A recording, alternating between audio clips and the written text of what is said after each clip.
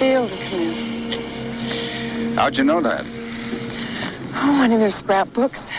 I remember the snapshot. You standing over there grinning away, holding up the handwritten sign Carrington 1.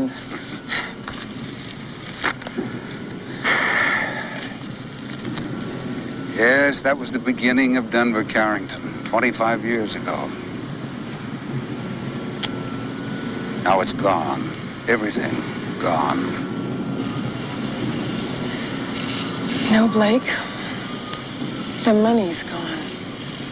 But you still have something worth a lot more. Your family. Children. Another child, our child, on the way. And Fallon. Do I still have her?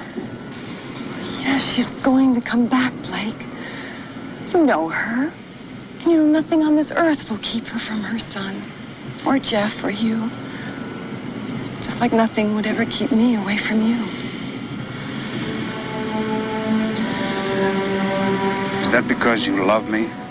Yes. Because I love you very much. Or is it because you're the kind of person you are? The kind of person who would stay with me no matter what? Maybe even just out of pity. Pity? What are you talking about? Didn't you hear me? I love you. That's the only reason I'm with you.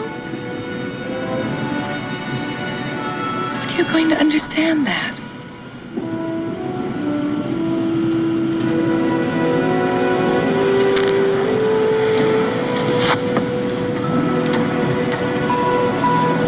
Oh, Krystle. I don't know what I'm going to do.